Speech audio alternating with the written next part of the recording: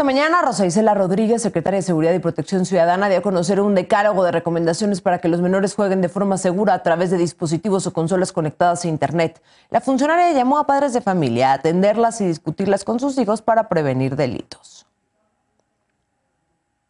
Número uno, no jugar ni chatear con desconocidos.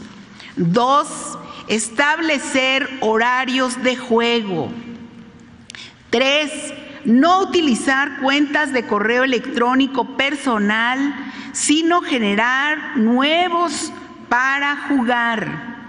Cuatro, no proporcionar datos personales, ni datos telefónicos, ni datos bancarios.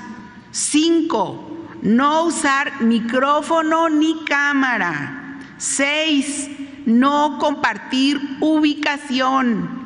Siete, reportar aquellas cuentas agresivas o sospechosas.